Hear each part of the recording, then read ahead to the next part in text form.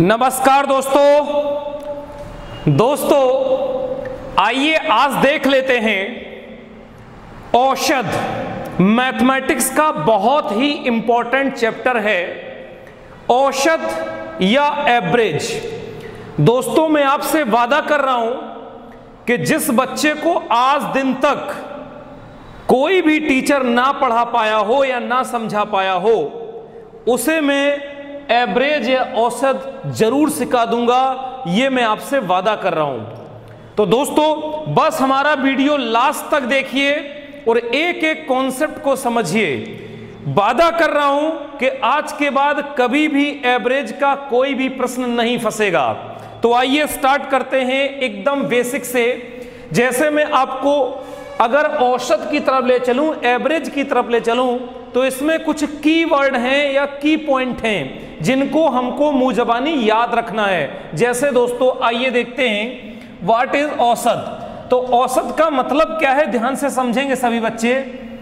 औसत वह माप है, औसत वह मेज़रमेंट है, औसत वह माप है जो संख्याओं के किसी समूह की जो संख्याओं के किसी समूह की या किसी ग्रुप की ग्रुप की विशेषता को एक संख्या द्वारा बताती है। एक संख्या द्वारा बताती है। कहने का मतलब मान लेते हैं, कोई संख्याएँ ग्रुप में दी हैं। जैसे one, two, three, four, five. Clear? अब इसकी जो ग्रुप में संख्याएँ दी हैं, इसकी विशेषता को किसी एक संख्या के द्वारा की संख्या की विशेषता को एक संख्या के द्वारा बताती है। कहने का मतलब इसका जो एवरेज होगा, वो कितना होगा? दो इधर दो इधर, तीन। तो ये किससे? तीन। किसी एक संख्या से रिप्रेजेंट कर देता है। क्लियर हो गया सभी का? जैसे हमने लिख दिया वन टू थ्री ग्रुप में है वन टू थ्री अब हमें एवरेज चाहिए तो मिडिल वैल्यू होती है, यही हमारा क्या हो गया? टू किसी एक संख्या से इसे रिप्रेजेंट कर दिया जाता है। क्लियर आइए, अब इसको हटा देते हैं। तो आइए, अब ये आपने समझ लिया पहला क्या है? एक बार फिर से। औसत वह माप है, जो संख्याओं के किसी समूह की विशेषता को एक संख्या के द्वारा रिप्रेजेंट कर दे या बताती हो, उसे एवरेज कहते हैं। पहला पॉइंट क्लियर सभी बच्चों का। दूसरा, औसत का एक इकलौता फार्मूला है, दूसरा फार्मूला नहीं बना है दोस्तों औसत या एवरेज बराबर कुल राशियों का योग अपान कुल राशियों की संख्या। क्लियर यही एक फार्मूला पूरे चैप्टर को सॉल्व करेगा दोस्तों। क्या हो जाएगा? औसत बराबर कुल राशियों का योग अपान कुल राशियों की संख्या। अगर इसको इंग्लिश में लिखें तो एवरेज बराबर T upon N T upon N A for average T for total N for number clear तो ये क्या हो जाएगा हमारा? एवरेज ये हमारा हो जाएगा टोटल और एन फॉर दोस्तों हो जाएगा हमारा नंबर केवल इकलौता फार्मूला क्या हो जाएगा? ए बराबर टी अपान एन अगर यहाँ से हमको टी बराबर लेना है तो क्या हो जाएगा? ए इंटू एन क्लियर इकलौता फार्मूला इसको मुँह जबानी याद कर लीजिए. ए बराबर टी अपान एन राइट आइए. तीसरी चीज़, तीसरा कीवर्ड है. औसत बराबर मध्यमान।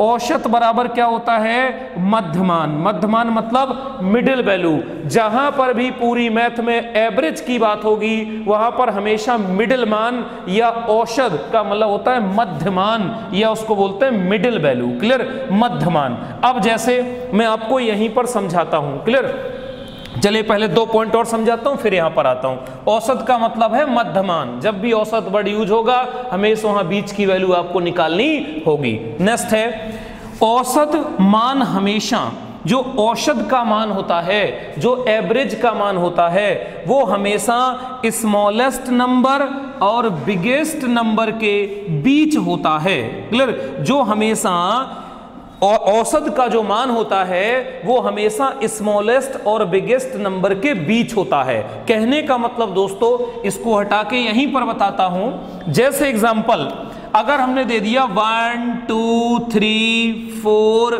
five मान लेते हैं।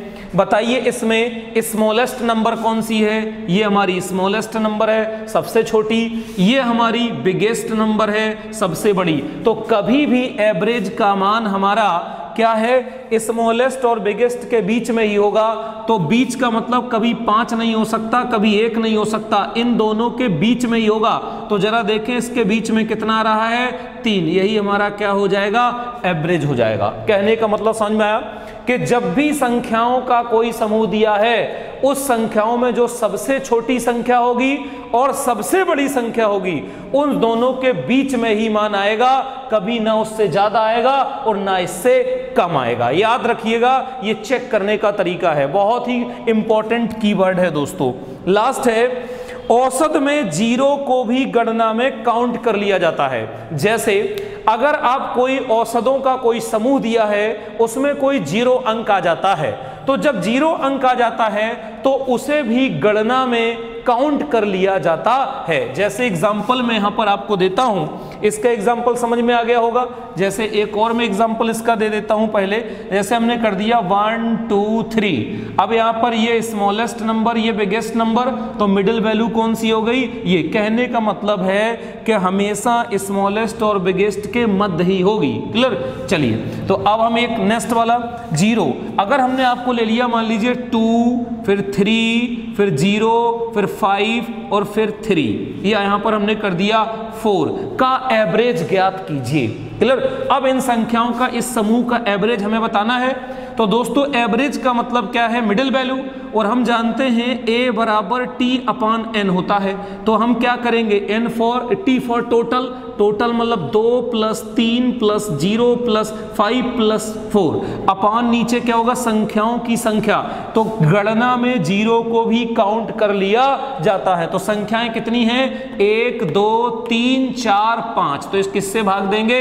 पाँच से भाग देंगे। क्लियर? अब ऊपर आप जोड़ दीजिए तो यहाँ पर देखेंगे पाँच, चार, नौ। नौ दस, ग्यारह, बारह, तेरह, चौदह। कितना हो जाएगा? चौदह बटे पाँच। इसी को अपना सॉल्व कर लीजिएगा। पॉइंट में मान आएगा। कहने का मतलब है कि औसत में ज़ीरो को भी गणना में सम्मिलित कर लिया जाता है। क्लियर दोस्तों, ये वो कीवर्ड हैं जिससे आपको ये पता चलेगा कि हमको क्या काम इसमें करना है। क्लियर इतने कीवर्ड लेकर के अब हम क्या करेंगे? आगे बढ़ेंगे। तो आइए, अब हम इसके बाद आगे बढ़ते हैं। या इस पे चर्चा कर लेते हैं।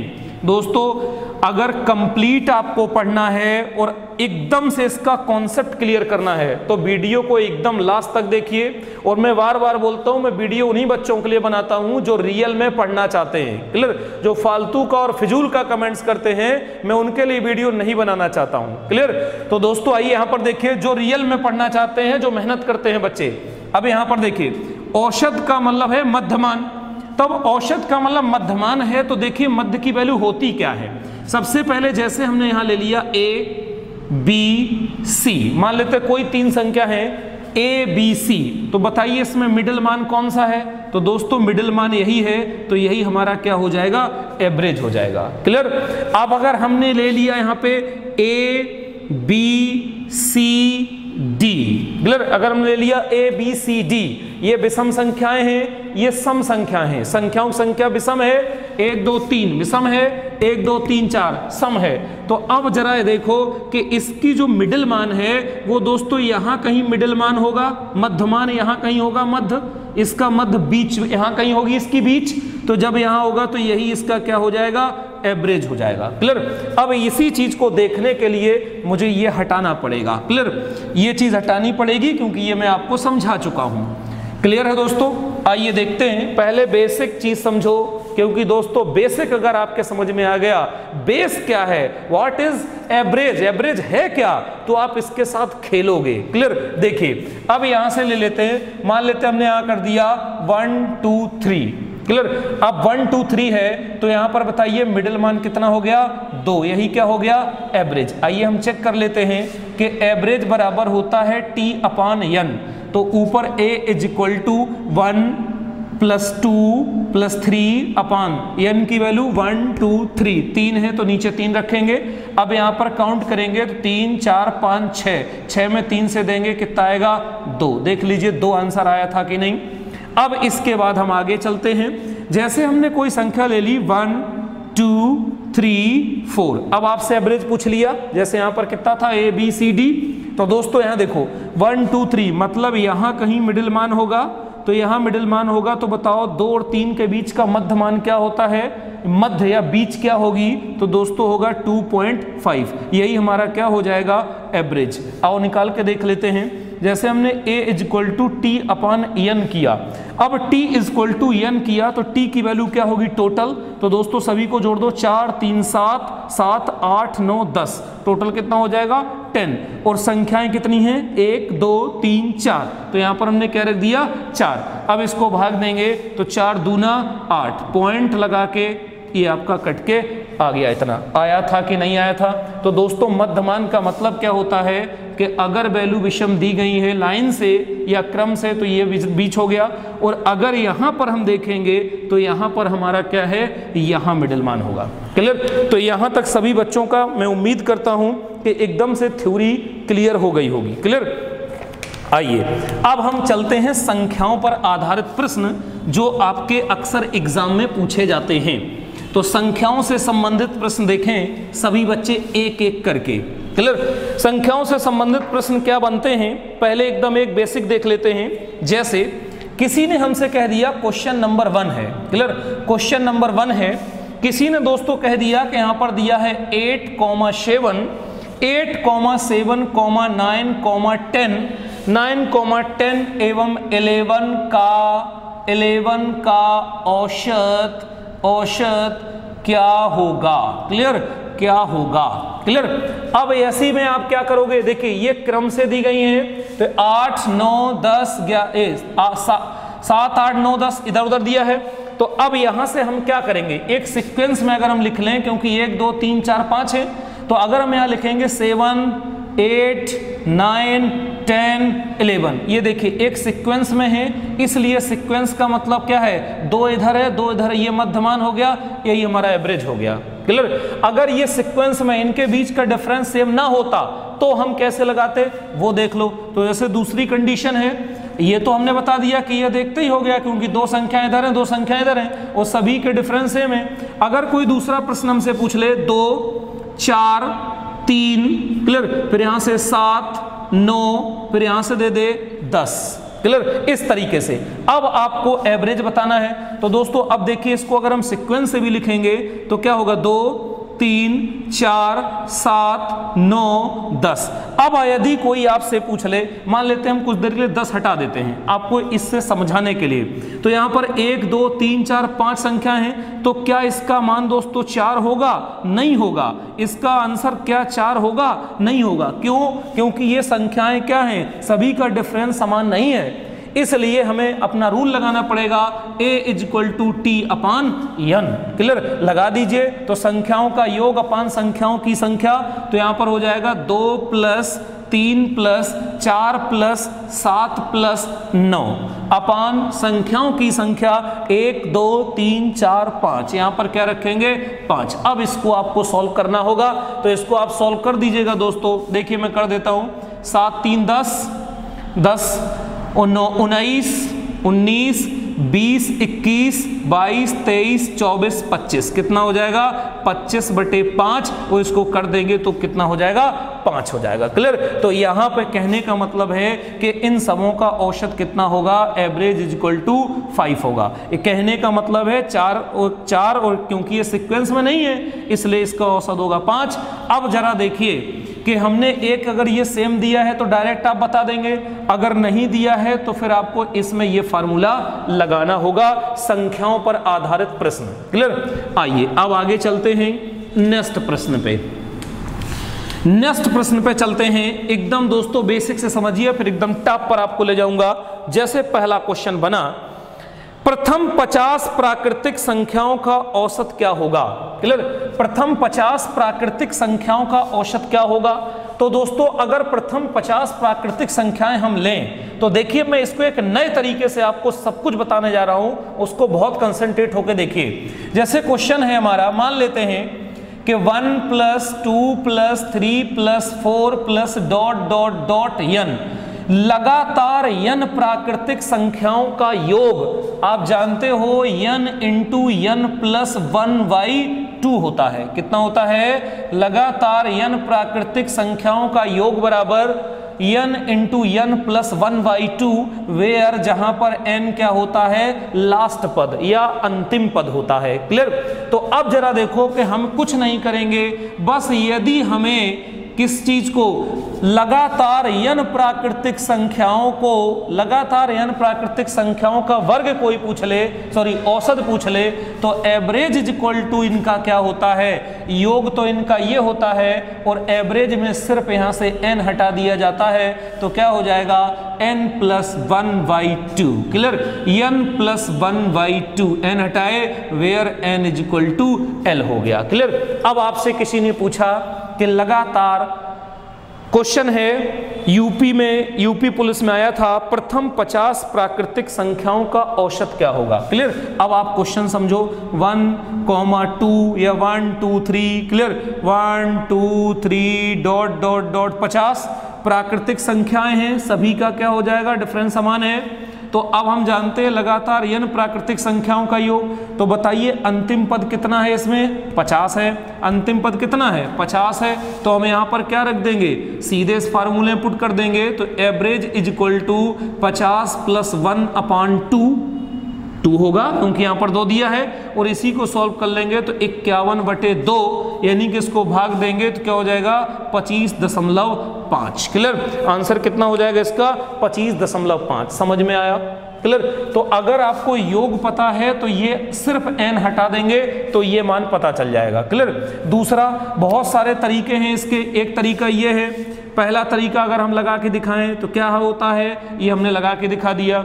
दूसरा तरीका क्या हो जाएगा? A बराबर टी अपान एन ये भी लगा दीजिए आप, संख्याओं का योग अपान संख्याओं की संख्या। फिर इसके बाद हम दूसरा ट्रिक के बाद आपको और भी ट्रिक बता देते हैं। जैसे आप जानते हैं कि एवरेज बराबर s n upon n s n का होता है एस एन बराबर n upon two a plus n minus one into d, A P और जी पी श्रेणी से। इससे भी आपका निकल जाएगा। एक और फार्मूला ए बराबर l plus a by two, इससे भी आपका निकल जाएगा। फिर एक आपने अभी जो निकाला, चौथा मेथड क्या हो जाएगा? ए बराबर n plus one by two clear तो मेथड दोस्तों देखिए, बहुत है हमारे पास। क्लियर सब तरीकों से आप इसको निकाल सकते हो। एस एन निकाल लीजिए। एस एन मतलब सभी का योग निकाल दीजिए। एन से भाग दे दीजिए। ए मतलब होता है इसका प्रथम पद। ए मतलब यहाँ पे प्रथम पद, एल मतलब अंतिम पद, दो से भाग देंगे, आंसर आ जाएगा और एक तरीके से हम आपको निकाल के दिखा चुके हैं। तो चार तरीके से आप कोई भी प्रश्न को सॉल्व कर सकते हैं। आइए, अब इसके बाद आगे चलते हैं। तो अगर कोई प्राकृतिक संख्या के लिए बोलता है कि प्रथम 10 प्राकृतिक संख्या, प्रथम 20 प्राकृतिक संख्या, क्लियर? किसी का भी पूछे, सीधे आंसर मार दीजिएगा। क्लियर? अब इसी के बाद हम आपको दूसरा क्वेश्चन बताते हैं। क्लियर? अब यदि कोई आपसे पूछ लेता है, दूसरा क्वेश्चन पूछ लेता है, देखिए क्या है दूसरा क्वेश्चन?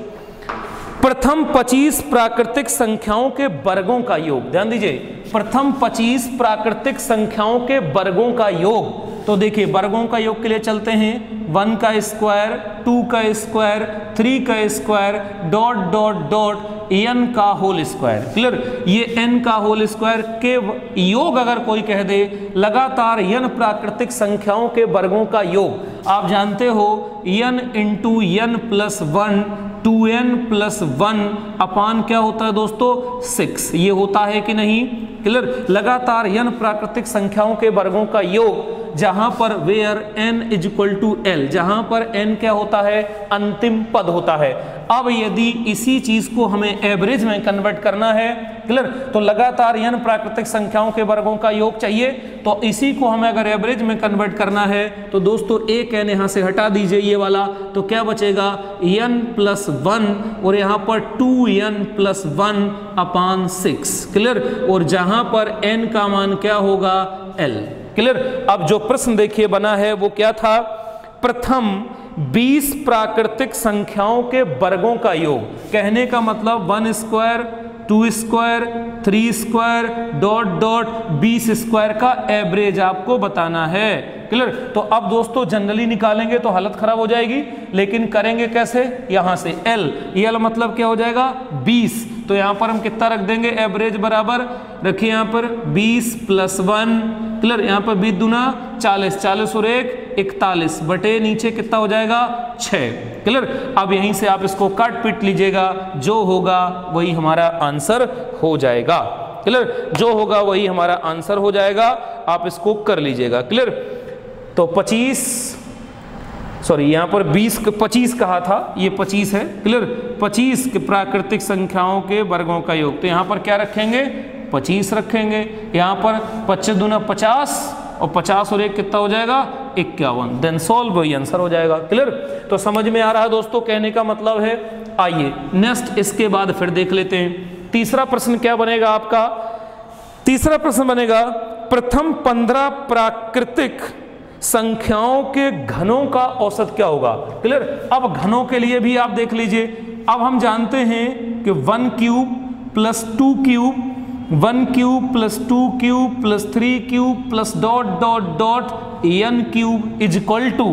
अगर हमें लगातार या प्रथम यन प्राकृतिक संख्याओं के घनों का योग पता हो जाए तो इसका वर्ग होता है, क्या होता है? N into n plus one by two one by two के पावर होल स्क्वायर क्लियर ये होता है लगातार यन प्राकृतिक संख्याओं के घनों का योग, जहाँ पर n इज़ इक्वल टू क्या होता है? एल जहाँ पर एन का मान होता है अंतिम पद। तो ये चीज़ें आपको मैं नहीं एवरेज पढ़ा रहा हूँ, इसलिए एवरेज अब इसका एवरेज अगर कोई पूछ ले कि लगातार यन प्राकृतिक संख्याओं के घनों का औसत क्या होगा तो एक एन इसमें से हटा दो।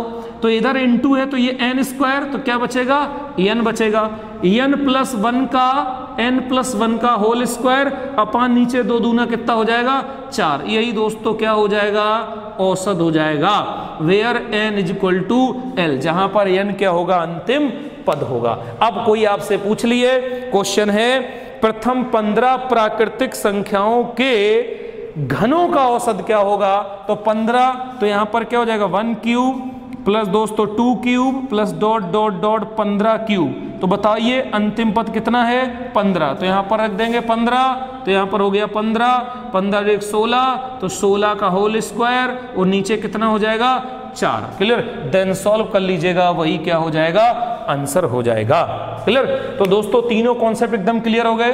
अगर आपको इन सभी का योग पता है तो एवरेज में सिर्फ़ एन हटा देते हैं। इसमें से एन हटा देंगे एवरेज बन जाएगा। इस फार्मूले से एन हटा देंगे एवरेज बन जाएगा। इस फार्मूले से एन हटा देंगे एवरेज बन जाएगा। तो क्वेश्चन बनता है, देखिए, प्रथम 20 प्राकृतिक संख्याओं के, प्रथम 20 प्राकृतिक संख्याओं का औसत क्या होगा? पहले वाले से निकल जाएगा। दूसरा क्वेश्चन बना है, प्रथम 25 प्राकृतिक संख्याओं के वर्गों का औसत क्या होगा? दूसरे वाले से निकल जाएगा। क्लियर फिर तीसरा प्रश्न बना है, प्रथम 15 प्राकृतिक संख्याओं के घनों का औसत क्या होगा? तो तीसरे वाले से निकल जाएगा। क्लियर तो आपने क्या सीख लिया?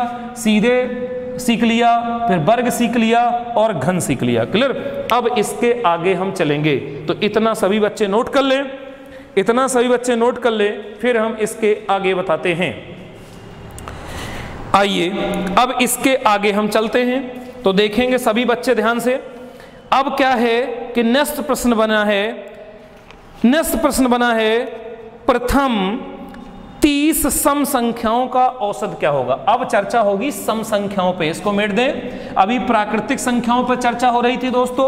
अब चर्चा हम करेंगे सम संख्याओं पे, क्लियर? और फिर हम चर्चा करेंगे विषम संख्याओं पे। बस सिर्फ़ देखते जाइए ध्यान से, और कितना जल्दी और कितने आसानी से आपका क्वेश्चन आता है। तो है हमारा, फिर हम नेक्स्ट है। कहने का मतलब two plus four plus six plus eight plus dot dot plus n क्या है? प्रथम यन सम संख्याओं का, प्रथम यन सम संख्याओं का, प्रथम यन सम संख्याओं का योग। अब जरा देखो, अभी ऊपर हमने पढ़ा था कि जब सभी था, one plus two plus three dot dot dot n तो n into n plus one by two. था ना तो यहाँ से हमने क्या हटा दिया था? तो औसत बना था। अब यहाँ से हम क्या हटा देंगे? दो। तो ये क्या बनेगा? n into n plus one क्योंकि हर बार दो आएगा, यही हमारा क्या हो जाएगा? इसका योग हो जाएगा। Where n is equal to l by two clear l by two हो जाएगा। जैसे आइए चेक करा देते हैं, अगर समझना है। योग निकालना है। चलिए सिंपल सा इतने का योग आप कर लीजिए। तो ये बताइए, आठ, दो, दस दस छः सोलह, चार, बीस। इतने का योग कितना होगा? बीस। आइए अब इस फार्मूले से निकाल के देखते हैं। अंतिम पद कितना है? आठ। तो n इज़ इक्वल टू आठ बटे दो, और इसको कर देंगे तो कितना होगा? चार। अब चार की वैल्यू यहाँ रखो। चार चार प्लस वन क्लियर तो क्या हो जाएगा? चार इंटू पाँच, चार पंचे, बीस। आया था कि नहीं? तो कितना बड़ा भी योग आप इस फार्मूले से निकाल सकते हैं और हमारा फार्मूला भी क्या है? करेक्ट है। अब आगे आइए। अगर इसको हमें एवरेज में बनाना है तो दोस्तों सिर्फ़ n हटा दीजिए। क्या बचेगा? n प्लस वन ये हमारा n प्लस वन एवरेज हो गया और जहाँ पर n is equal to l by two आइए चेक कर लेते हैं। जैसे अगर हमने इसी का चेक करवाते हैं आपको तो ये क्या हो जाएगा? a is equal to t upon n हो जाएगा। तो टोटल बताइए, ऊपर अभी आपने 20 काउंट किया है तो एक, दो, तीन, चार, यहाँ पे क्या रखेंगे? चार। तो चार पंचे बीस। एवरेज कितना होगा? पाँच। आइए फार्मूले से देख लेते हैं। A is equal to n की वैल्यू बताइए, कितनी है? आठ। N की वैल्यू कितनी है? आठ। तो n की वैल्यू आठ है तो आठ बटे दो, यानी कि n की वैल्यू चार। तो यहाँ पर चार प्लस वन यानी कि टोटल पाँच। इसका मतलब आंसर ऑलवेज सही है। क्लियर तो अगर आपको योग पता है तो औसत आप एक सेकंड में आंसर बाहर कर देंगे। क्लियर? तो अब जो प्रश्न बना है, देखिए दोस्तों, प्रश्न क्या है? प्रथम तीस सम संख्याओं का औसत क्या होगा? तो प्रथम 30 सम संख्याओं का औसत, यानी कि n की वैल्यू 30 है तो ये बराबर 30 plus one is equal to कितना होगा? 31 यही आंसर हो गया। क्लियर और भी तरीके हैं सॉल्व करने के, लेकिन मैं एक ट्रैक पे आपको लेके जा रहा हूँ, जिससे आपका योग भी क्लियर होता जा रहा है और एवरेज भी क्लियर होता जा रहा है। क्लियर तो अब कहने का मतलब है, दो, चार छ डॉट डॉट टू एन होता है। तो एन की वैल्यू 30 है तो एन की वैल्यू कितनी है? 30 तो यहाँ पर रखेंगे तो दो, चार छ डॉट डॉट साठ। यानी कि प्रथम पद ये ए हो गया, ये इसका एल हो गया। हम जानते हैं ए बराबर एल प्लस वाई टू यही आंसर हो गया दो प्लस साठ बटे दो। यानी कि कितना हो जाएगा? बासठ बटे दो। कर देंगे तो इकतीस। तो भी तो आंसर आएगा। क्लियर? तो तरीके दोस्तों बहुत हैं, लेकिन जो मैं एक ट्रैक बताना चाहता हूँ, जिससे आपके दो दो काम हो जाएँगे। क्लियर? तरीके हमारे पास बहुत हैं, बस आप कमेंट, जब बस आप इसमें समझ जाइए, जो आप समझ लेंगे, वही आंसर हो जाएगा। नेक्स्ट देखिए, क्वेश्चन क्या है? नेक्स्ट प्रश्न पूछा गया है, प्रथम प्रथम 25 सम संख्याओं के वर्गों का औसत क्या होगा? क्लियर अब आइए सम संख्याओं के वर्गों का औसत। कहने का मतलब दो के पावर होल स्क्वायर चार के पावर होल स्क्वायर छह के पावर होल स्क्वायर आठ के power whole square dot dot n square सम संख्याओं के वर्गों का औसत। अब क्या होगा? इज़ इक्वल टू तो अब आप जानते हो दोस्तों कि क्या कहते हैं? प्रथम यन सम संख्याओं के वर्गों का औसत। प्रथम यन सम संख्याओं के वर्गों का औसत। अभी आपने वर्गों का फॉर्मूला क्या पढ़ा था? N n plus one two n plus one upon six पढ़ा था, कुछ नहीं करना है, बस थोड़ी सी चेंजिंग। ऊपर टू करना है और नीचे थ्री करना है। ये होता है सम संख्याओं के वर्गों का औसत। Where n is equal to l by two. कितना होता है? L by two. अब यही अगर हमें एवरेज में कन्वर्ट करना है तो एक एन यहाँ से हटा देंगे। तो एक एन अगर हमने हटा दिया तो क्या बचा? टू कोष्टक में n प्लस वन और यहाँ पर two n plus one upon नीचे कितना? थ्री यही दोस्तों इसका एवरेज हो गया where n is equal to l by two clear किसी का भी आप निकाल दीजिए।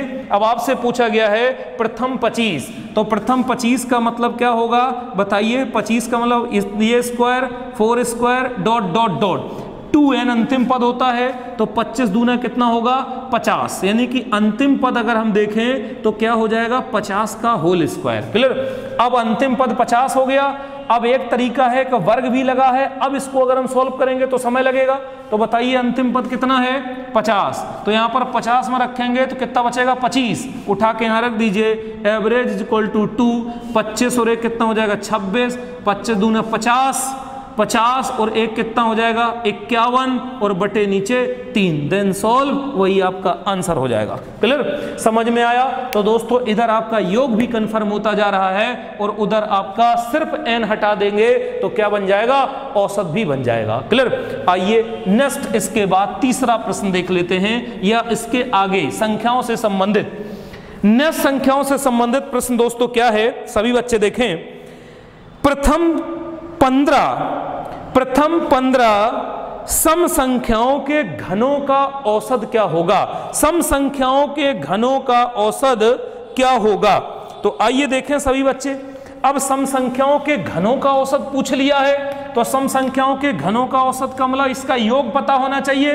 तो दोस्तों, दो के पावर तीन, चार के पावर तीन छ के पावर तीन आठ के पावर तीन, डॉट डॉट, यन के पावर तीन। क्लियर? अब कह रहा है, प्रथम यन सम संख्याओं के, प्रथम यन सम संख्याओं के घनों का योग। तो प्रथम यन संख्याओं के घनों का जो योग होता है, वो होता है टू यन स्क्वायर कोष्ठक में यन प्लस वन का होल स्क्वायर। क्लियर? ये देखिए, क्या होता है? यहाँ से भी ऊपर वाले को हटा देते हैं, क्योंकि ये हो चुका है। इसका जो एल बराबर है एन बराबर था एल बाई टू अब ये हमारा फार्मूला बन गया।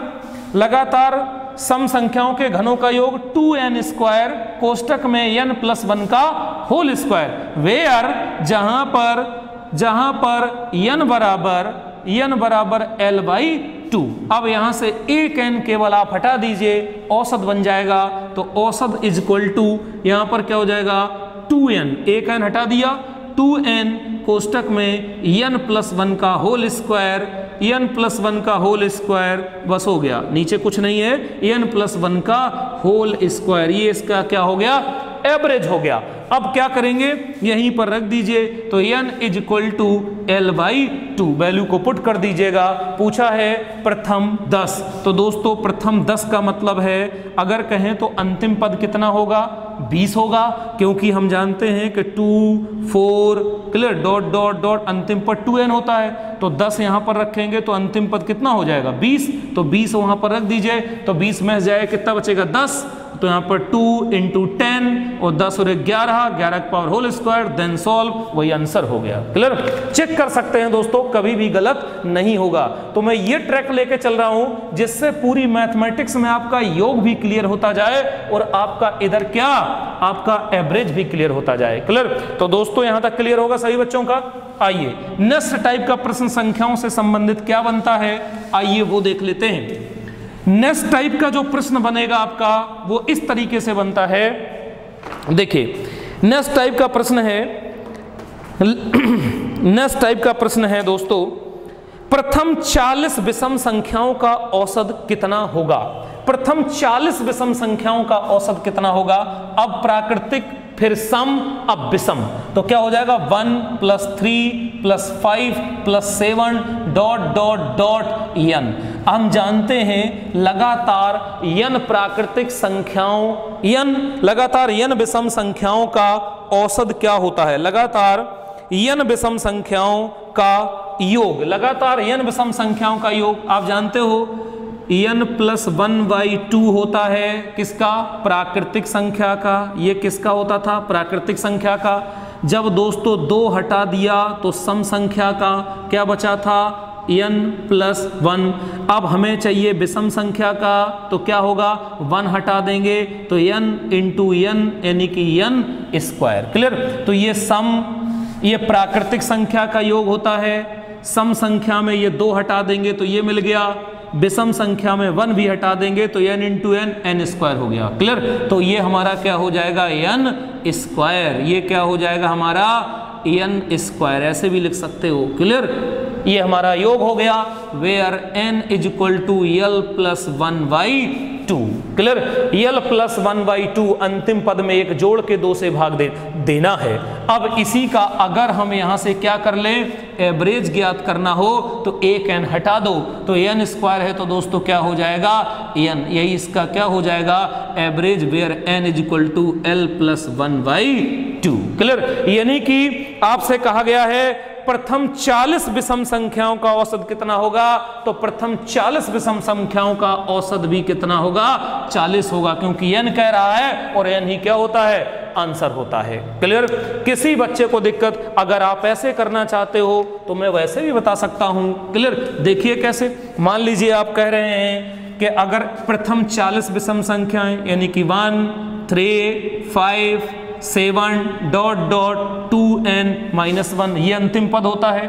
आप अंतिम चालीस कह रहे हो तो एन की वैल्यू चालीस रखेंगे।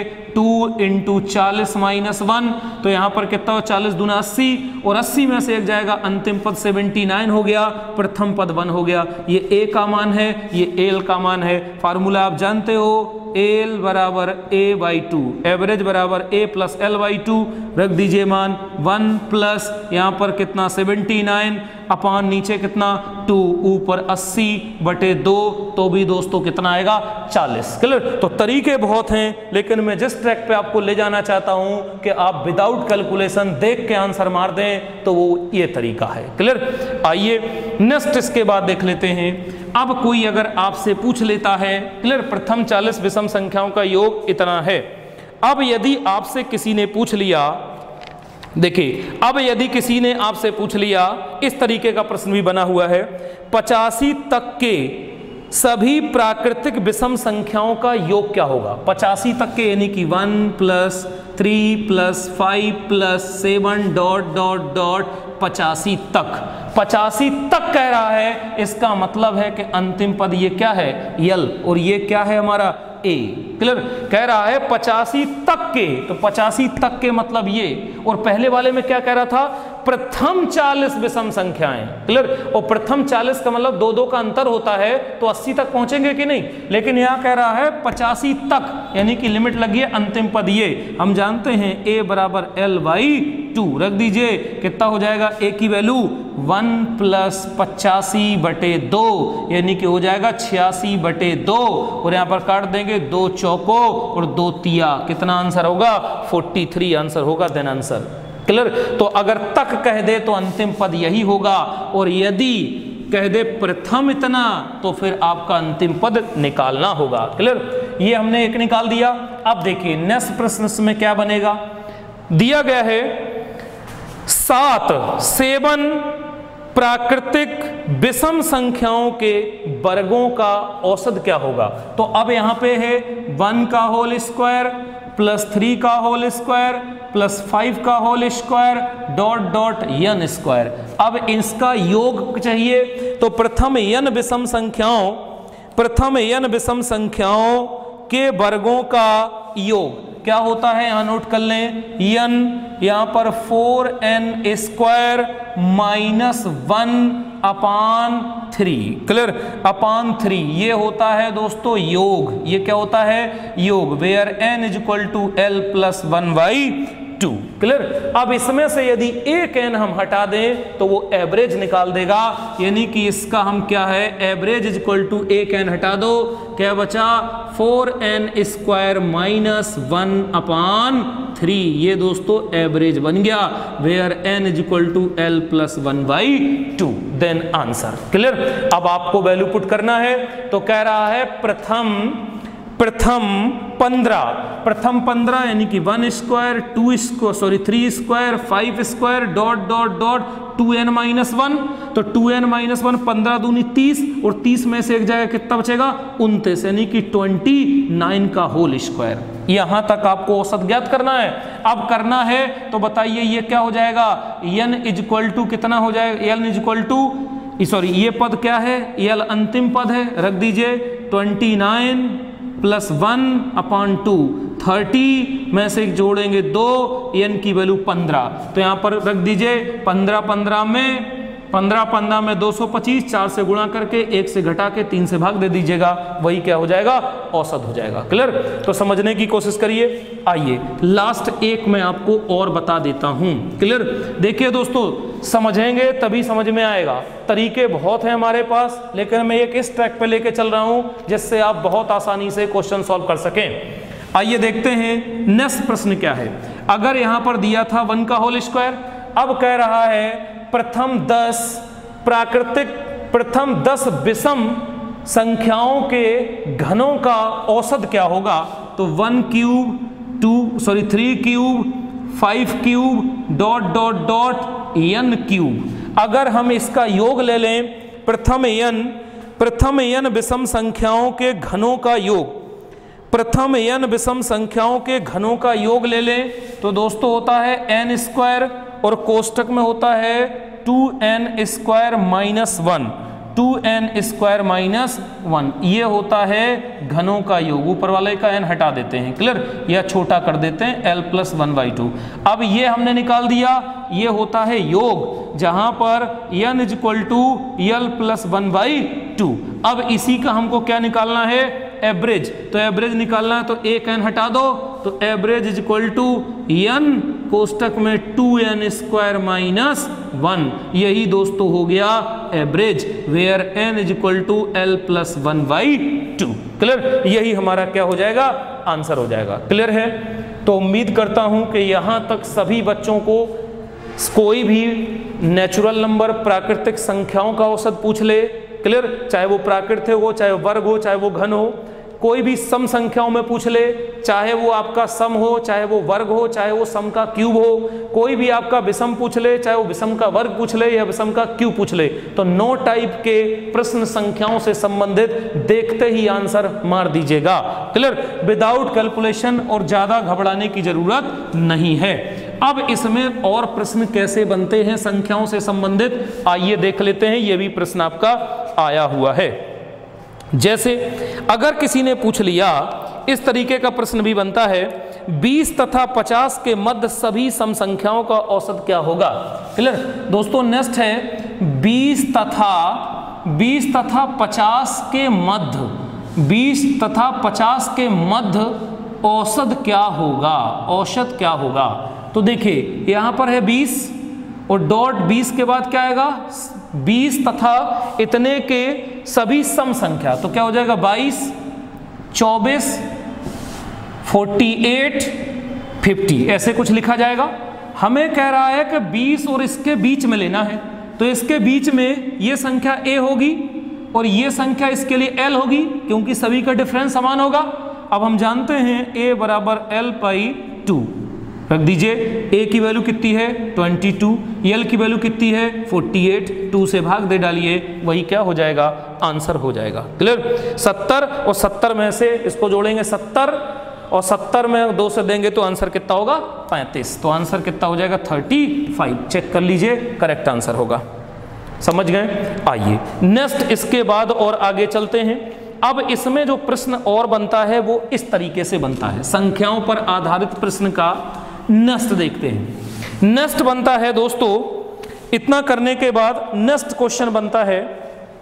देखिए, पाँच के प्रथम इकतीस गुणजों का औसत क्या होगा? क्लियर? मैं क्वेश्चन लिख दे रहा हूँ, कई बार पीसीएस में पूछा गया है।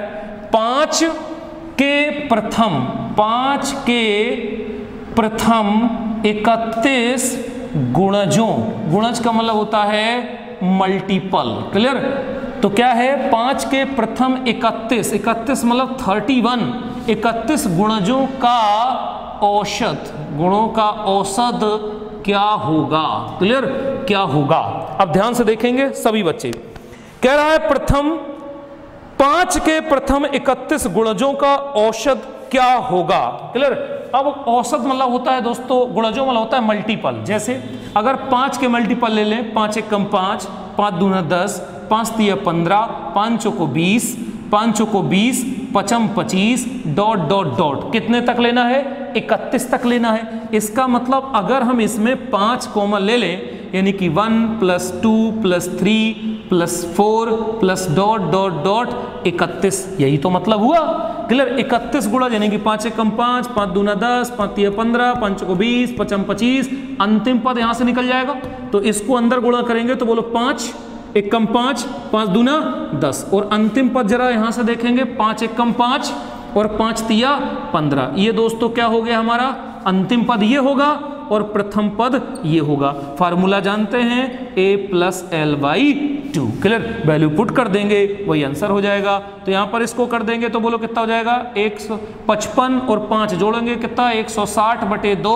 और यहाँ पर कर देंगे तो आठ दुनी सोलह, यानी कि कितना हो जाएगा? अस्सी। कितना एवरेज होगा इसका? एट्टी या अस्सी होगा। क्लियर सिंपल है। अब इसका एक ट्रिक भी बनता है। वो ट्रिक मैं आपको दिखा देता हूँ। क्लियर तो ये जनरल तरीके से आपने सॉल्व कर लिया। ये फार्मूला बहुत ही एवरेज में कारगर है।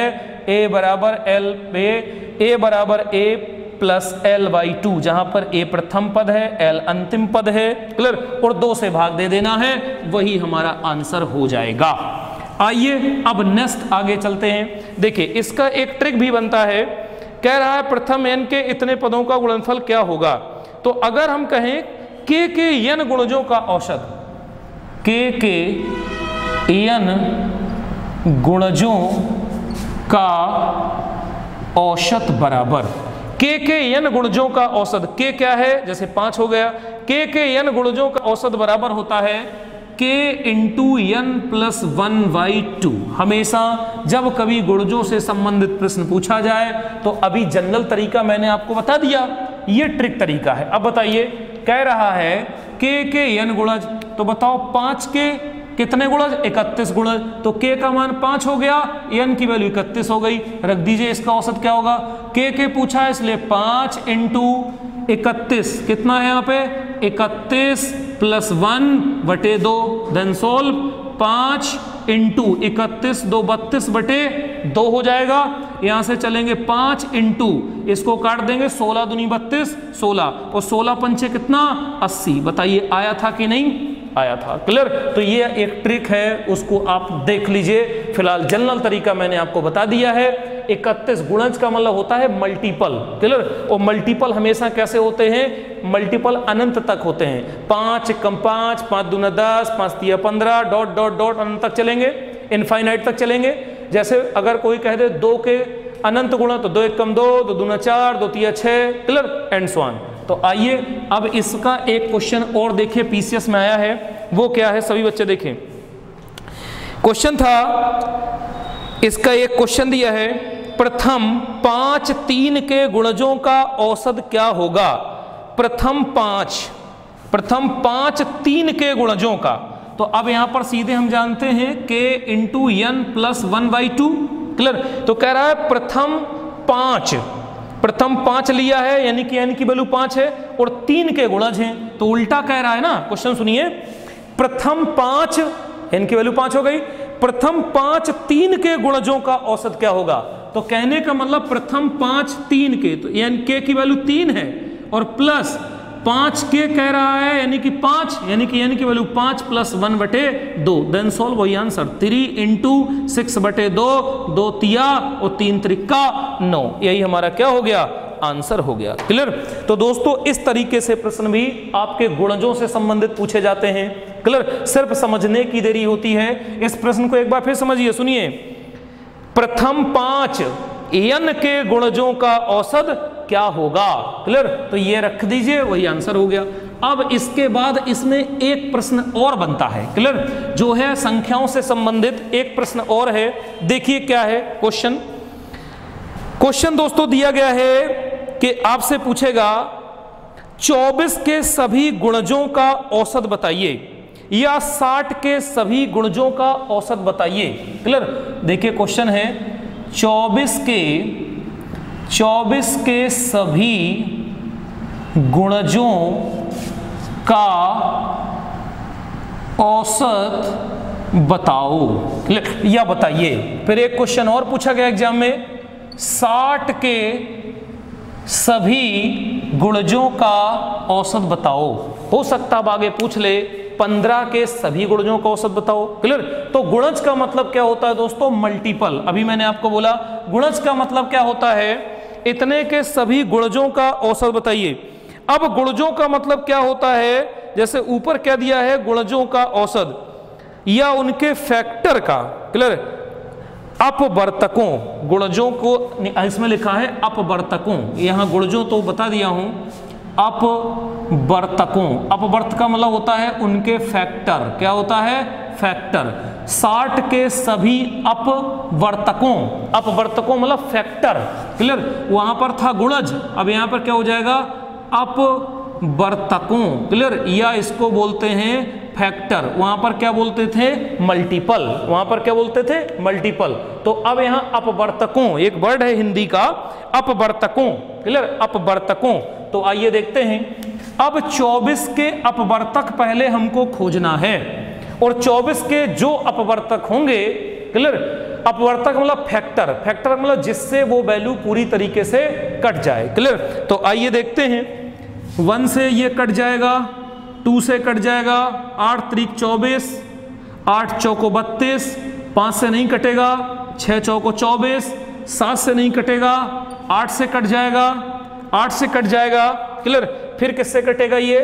आठ। बारह दूनी चौबीस, बारह से कटेगा और ये स्पेशल चौबीस से कटेगा। और किसी से ये नहीं कटेगा। काट के देखो, एक से कट जाएगा, दो से कटेगा, तीन से कटेगा, चार से भी कट जाएगा, छह से बारह से। क्लियर तो ये इसके क्या हो गए दोस्तों? अपवर्तक हो गए। क्लियर अब इन्हीं अपवर्तकों का आपको क्या बताना है? औसत बताना है। तो ये एक सिक्वेंस में तो है नहीं। तो आपको फार्मूला कौन सा लगाना पड़ेगा?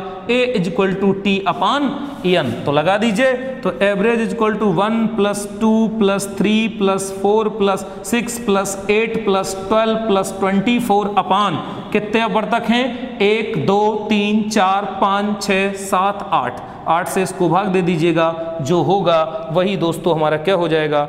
आंसर हो जाएगा। क्लियर किसी बच्चे को दिक्कत, अब वही 60 का कर लीजिएगा। 60 का कहने का मतलब क्या है कि यहाँ पर 60 लिखिए और 60 के अपवर्तक पहले खोजिए। जो भी संख्या है, ये संख्या वन से कटेगी, ये संख्या दो से कटेगी, ये संख्या तीन से कटेगी। क्लियर? अगर इसको हम तीन से काटेंगे तो भी कटेगी। क्लियर? तीन से कटेगी, फिर ये संख्या चार से भी कटेगी, पाँच से भी कटेगी छः से भी कटेगी, सात से नहीं कटेगी। क्लियर? आठ से भी नहीं कटेगी दस दस से कटेगी, बारह पंचे साठ भी कटेगी, तेरह से नहीं कटेगी, पंद्रह चौको साठ कटेगी, बीस तिया साठ कटेगी, बीस तिया साठ कटेगी, क्लियर? बीस तिया साठ कटेगी, फिर तीन, तीस से कटेगी, फिर तीस से कटेगी और साठ से कटेगी। ये साठ के हो गए अपवर्तक क्लियर? सभी को जोड़ दीजिएगा और एक, दो, तीन, चार, पाँच छः जितने हैं, उससे गुणा लगा दीजिएगा। वही हमारा क्या हो जाएगा? आंसर हो जाएगा। इतना सभी बच्चों को तो क्लियर है। अब दोस्तों, ये हमने संख्याओं से सभी संबंधित प्रश्न आपको बता दिए।